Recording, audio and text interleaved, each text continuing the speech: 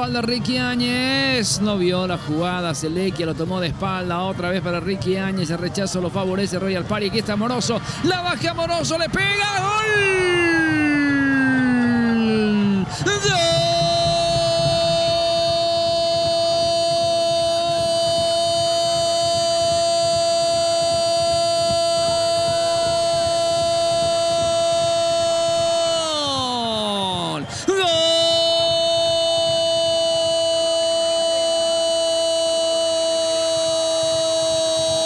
Royal Party.